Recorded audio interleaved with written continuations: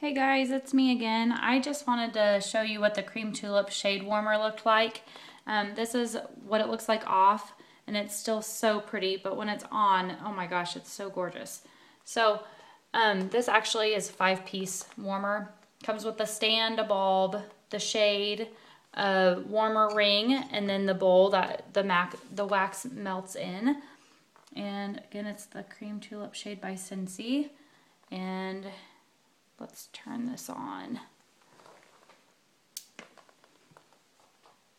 Isn't that so pretty?